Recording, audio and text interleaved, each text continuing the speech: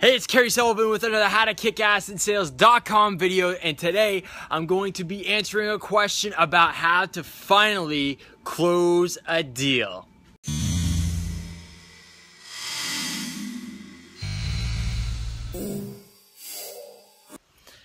All right, so someone asked me a question, and the issue is this person keeps getting stuck in a situation where they feel like the other person they are trying to sell isn't really playing ball with them. They're giving them value, and they're not able to get in there and actually close the deal, even though they feel like that person wants to sign the deal and get it done. So there's a few ways to handle this situation. It's something that I used to get stuck in all the time. So here's how you, you fix that. And here's how I, I fix that specific situation. So number one is you want to start asking a lot of questions and you want to figure out why that person wants to buy something. And you want to figure out specifically how is it going to negatively impact them not to go through and fix the situation that they're trying to fix with your product and or service right? So here's how you would do this. Let's say i'm selling car tires and someone comes in and they want to buy a pair of car tires. And so what i'd ask them is you know what is the reason you need a new pair of car tires? And they say well these are worn out and uh, you know so i need a new pair. And then i would ask them well what would be your ideal pair of car tires, your dream set of car tires. And they said, well, they'll last for 70,000 miles and they'd be really good in wet weather. All right. And so I would then ask them, and why is that so important for you to have car tires that are good in the in the wet weather? They said, well, I drive a lot in wet weather right now, and the ones I have right now, they're not that good, and and everything. And so I would then ask them the implication questions, right?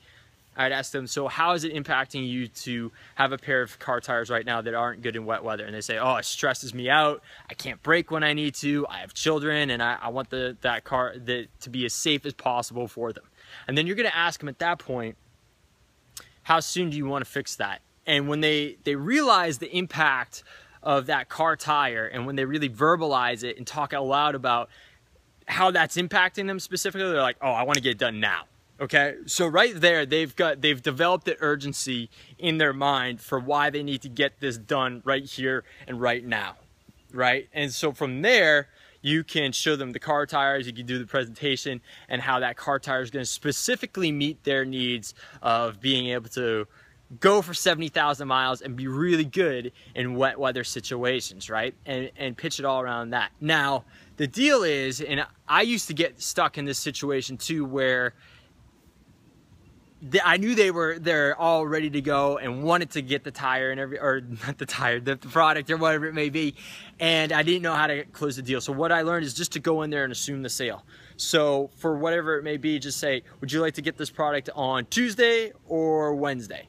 All right? Do you want this in blue or black? And just go through like they've already said yes go through get them to get their autograph on the piece of paper. That's another little trick in there. If you say sign, sometimes people freak out about that. So just go through just like they're gonna buy the product and just go right on through with the paperwork, figure out when the delivery order is gonna be, and get them started. That's it. So that is how you go through there and just get the deal done. So you're gonna really figure out one, how it's impacting them not to get started with you with your product and or service. And you're also going to then just go into assuming the sale and delivering that product and or service just like they had already bought. So doing that should help you. Go out there and get the job done. This is Kerry Sullivan with another how to kick ass in sales.com video. If you got any other questions you guys know what to do. Leave them and that's it. And I appreciate you for watching. Thank you. Bye bye